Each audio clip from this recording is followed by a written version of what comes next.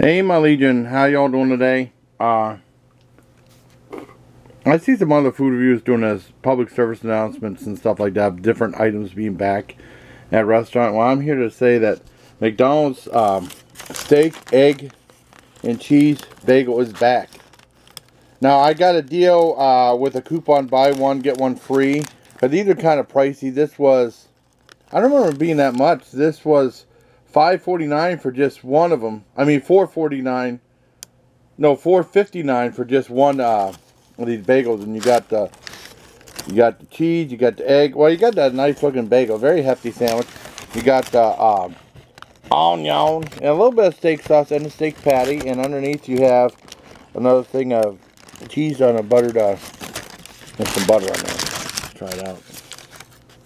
So I got to buy. I mean, two for Buy one, get one free is not bad, but I mean, one for 459 getting up there in price. Let's try it out.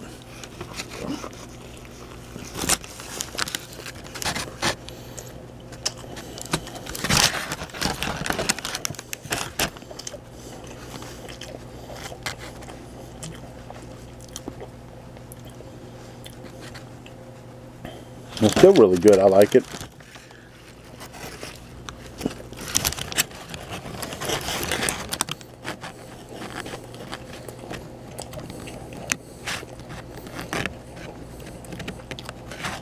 You ever get the flavor of steak patty.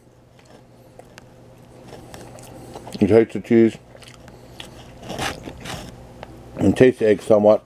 With mostly the the steak patty taste. Along with the bagel too.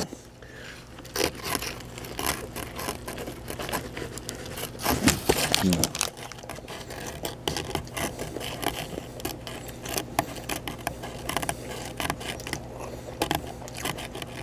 I still think it's really good. I like it.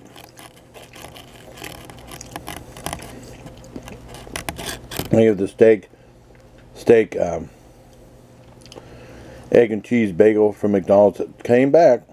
Um, 9 out of 10. I wish they'd bring back the Spanish omelet um, with sausage bagels. Those were great.